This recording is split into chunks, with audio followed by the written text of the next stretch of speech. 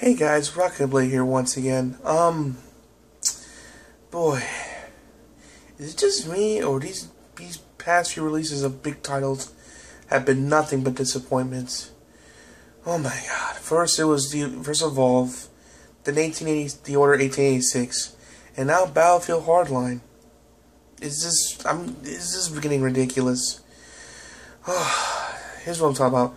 Um if you if you check out Angry Joe's channel, again, and shout out to his channel by the way.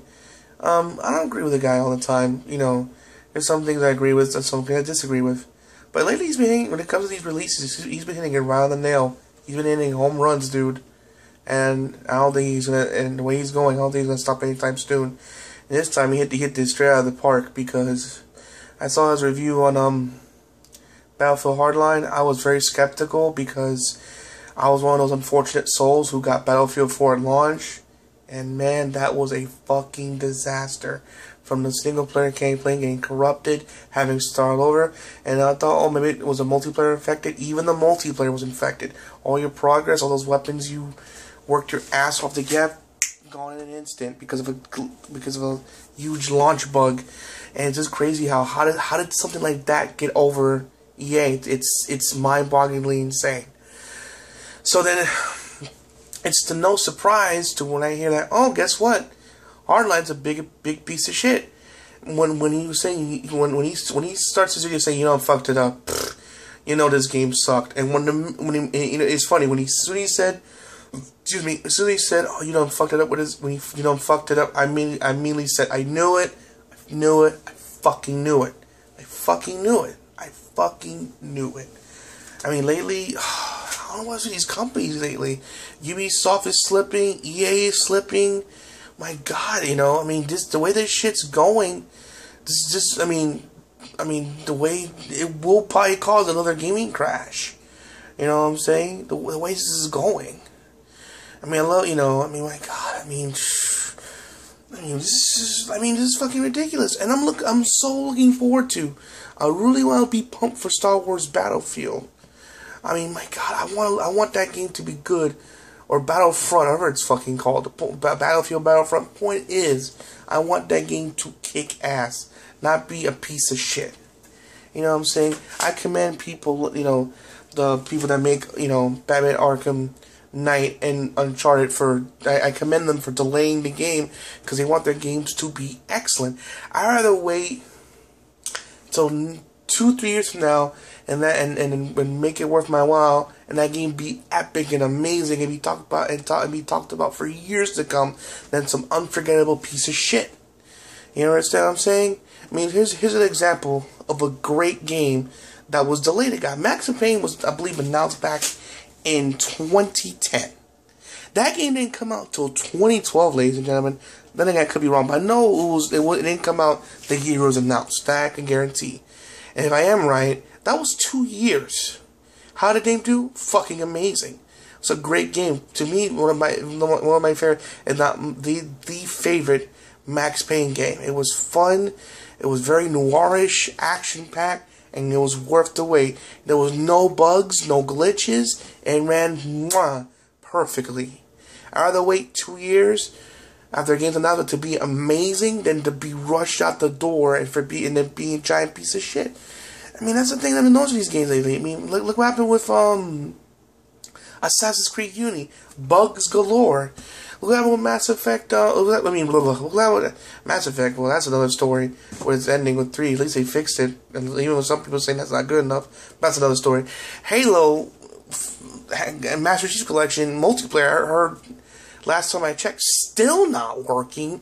I'm even hearing rumors, which don't quote me on this, but this is a rumor that the Halo fanboards are like, if this shit, if this shit's not fixed, we will we'll boycott and not buy Halo Five.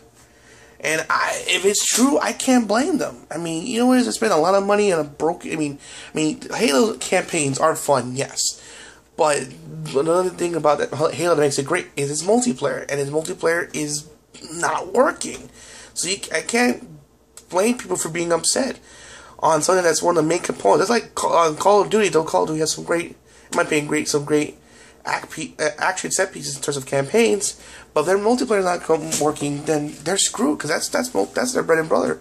Blah, blah, blah, blah, blah, their bread and butter. Same thing with Halo. And then you know the, the Evolve being the mess that it is.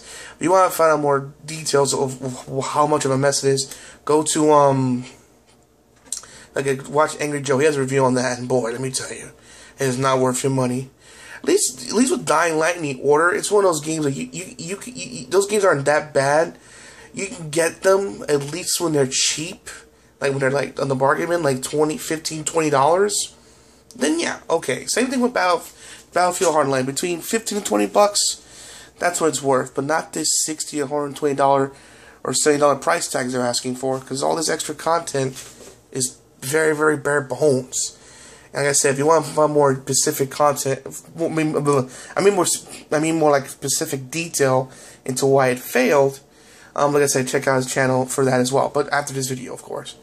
But brings me to the question of, of, of the video, of the title we saw the video. Is is Star Wars Battlefront or Battle is Star Wars Battlefront in trouble? In my opinion, yes. Do I want to be in trouble? No, I want that game to kick ass, take names, and be like the ass kicking game of the year.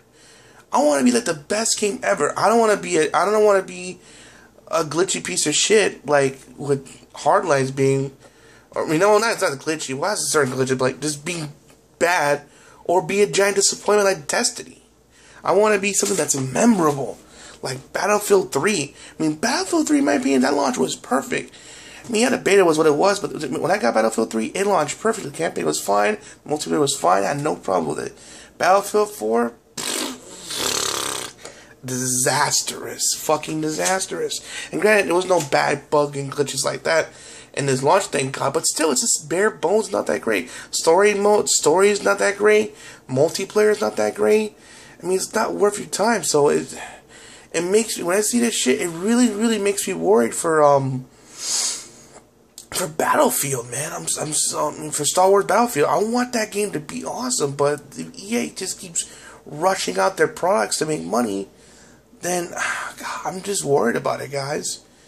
I mean, I may be crazy. To what do you think? Do you feel the same way? Do you feel Battlefield's in Battle Star Wars Battlefield's in danger uh, in trouble? Tell me what you guys think because in my opinion, I think it is because if EA keeps doing this, the crap they're doing, no one's either gonna buy it or no one's gonna buy it or or if it or or if it does bad, it's we're in an age where if something goes bad, it spreads like wildfire.